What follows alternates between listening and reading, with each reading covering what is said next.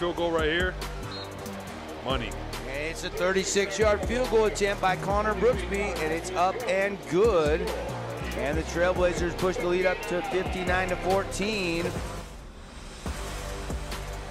Now the field goal 50 50 yarder. Oh yeah. I think he's good. Oh man, good from Nailed 60. it. Wow. Connor Brooksby, 50-yard Keep field the goal. knee brace. ACL is fine. Coach Loney out there getting hyped for him. That's good. Of course, Connor Brooksby, prep right here in St. George, Pineview High School.